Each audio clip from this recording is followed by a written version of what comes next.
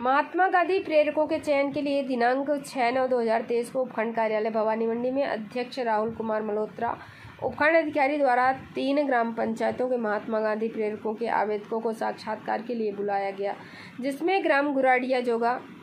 सोलह रजन पमरा, दो देवरिया, सात मांडवी, पाँच हतुनिया